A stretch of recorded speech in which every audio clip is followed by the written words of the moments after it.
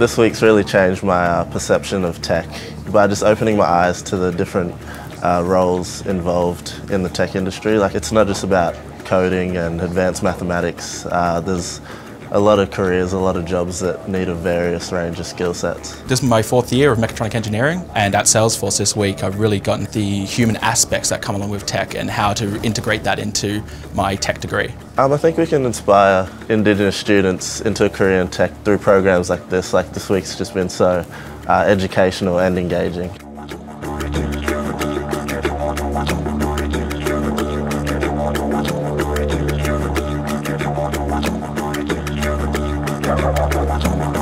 It's programs like this that Salesforce and Career Trackers are doing uh, that will take Aboriginal people into the future engaging with technology, ensuring that they're part of the solution moving forward. We've got to ensure that it doesn't bypass Aboriginal Australia. So there are programs set up, established for young Aboriginal people to embrace and learn it themselves and then take it into communities.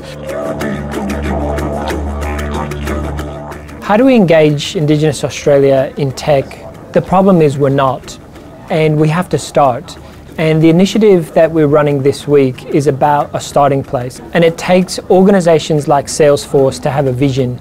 It takes the young people who are doing this program to tell us how to do it and ultimately get hundreds of young Aboriginal and Torres Strait Islander students interested in pursuing careers in technology.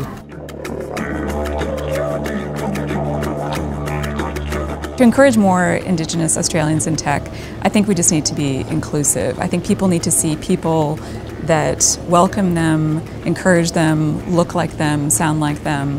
It's really powerful. Equality is a huge value for us and what we try and do within that space, a lot of that lies within education and we try and even the playing field. Career Trackers is by far leading the way when it comes to working with the Indigenous community, getting students into corporate internships for a really authentic and genuine journey of what it looks like to, to work in tech.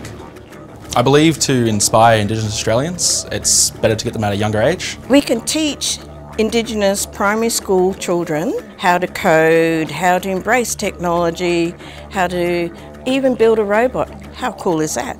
Giving uh, Indigenous kids experiences with either at their schools or at tech companies, I feel like will be really beneficial for them.